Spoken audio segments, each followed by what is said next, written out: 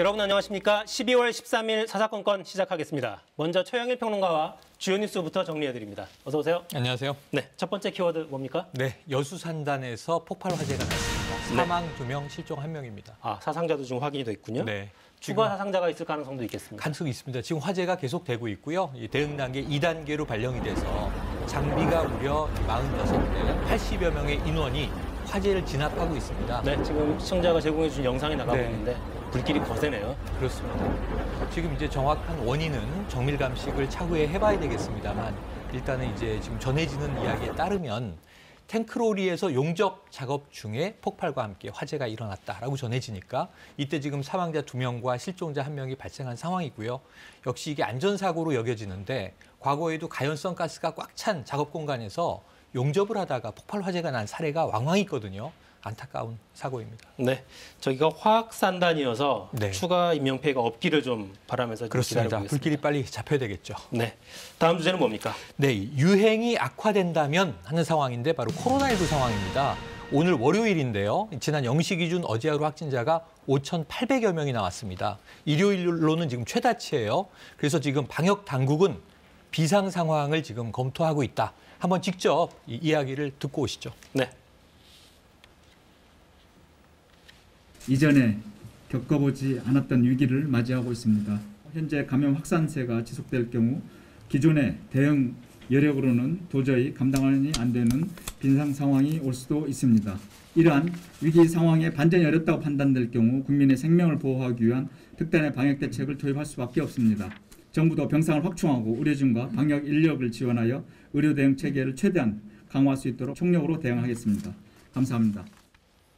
네, 오늘 오전에 나온 발언 보면 의료 역량이 한계치에 예. 달하고 있다 이런 평가도 나왔더라고요. 그렇습니다. 지금 이제 의료 대응, 병상과 의료진 문제인데요. 서울은 이미 90%를 넘겼습니다.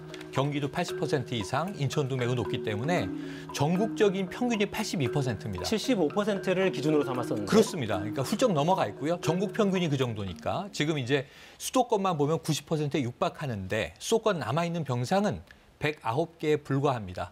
지금 이제 일단은 위중증 환자가 900명에 육박하는 상황인데 이 오늘은 어제보다는 약간 떨어졌어요. 그럼에도 불구하고 여전히 900명 육박으로 병상 문제가 심각해 보이네요. 네, 참 걱정입니다. 오늘부터 방역 패스 제도 시행이 됐죠? 네, 방역 패스가 시행됐습니다. 사실은 뭐 일주일 전에 시작됐는데 일주일은 계도 기간이었기 때문에 실제로 단속을 하거나 과태료가 없었는데 지금 보시다시피 식당, 카페, 학원, PC방, 영화관, 공연장, 독서실, 스터디 카페, 특히 학원에서 좀 불만이 많이 나오고 있죠. 그리고 이제 더불어서 목욕장까지 방역 패스가 있어야 되고요. 미접종자는 48시간 이내 PCR 음성 확인서, 그 외에는 이제는 두 명 이상 미접종자는 식당, 카페 이용하기도 어려워진 상황입니다. 네, 이 전국에서 방역 패스 확인하는 이- 이게 몰리니까 네. 11시 한 40분부터는 장애도 발생했어요. 장애 발생해서 지금 쿠브가 작동하지 않는 건데 이제 긴급하게 조치 중이고요. 그리고 이제 080 안심콜도 이용할 수 없는 상황이라 QR 코드를 찍거나 이 직접 방역 이 확인서를 보여주거나 해야 되는 상황이거든요. 근데 지금 이런 상황인데 오미크론은 또 계속 늘고 있습니다. 지금 114명으로 늘었는데 전북에서만 오늘 19명이 추가됐습니다. 이란에서 들어온 한 명 기존 확진자가 있었는데 어린이집을 중심으로 원생과 가족에게 퍼져나가는 상황도 있었고요.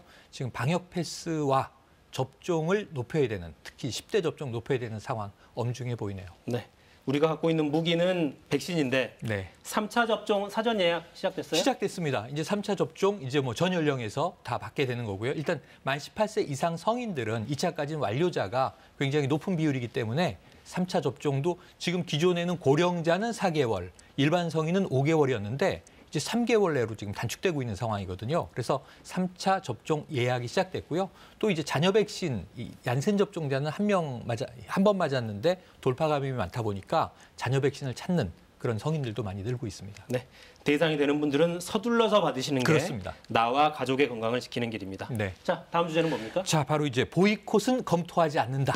보이콧은 검토하지 않는다. 네.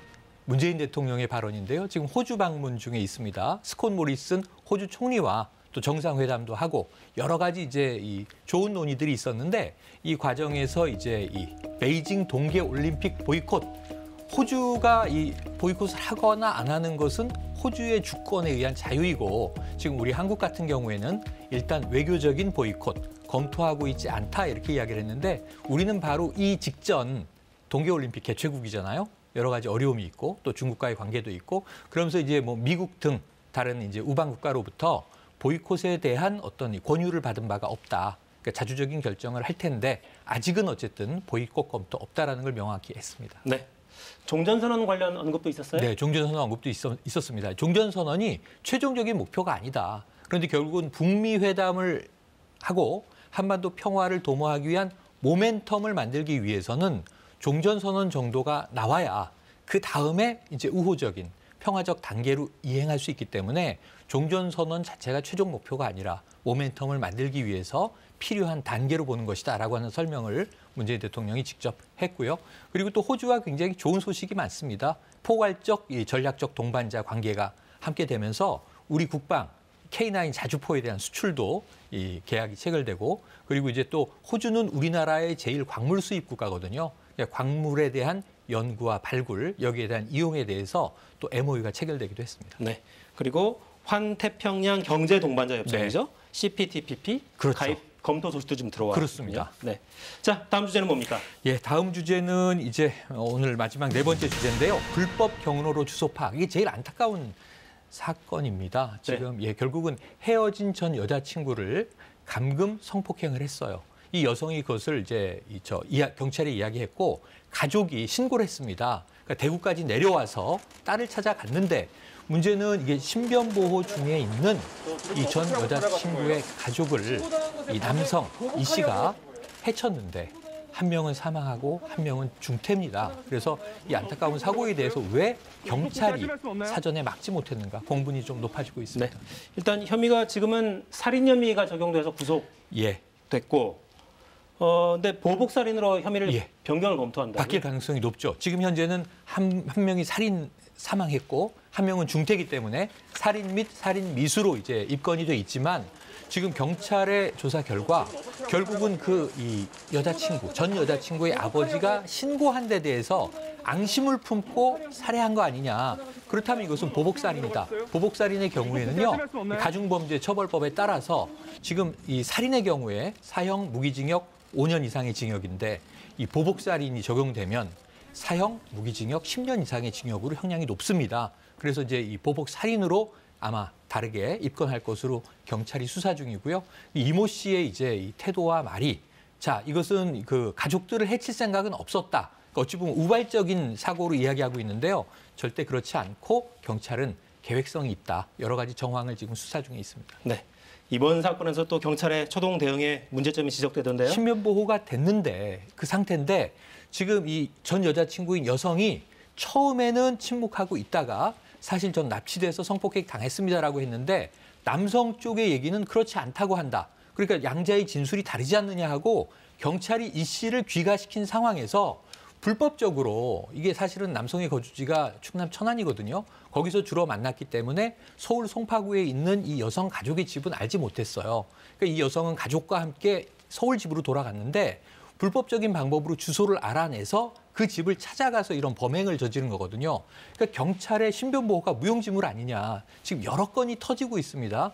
이 공권력에 대해서 좀 안타까운 대목인데 경찰이 앞으로는 절대로 신변 보호라는 이름이 걸맞게 신변 보호가 되도록 해주시길 바랍니다. 네. 최영인 평론가 잘 들었습니다. 고맙습니다.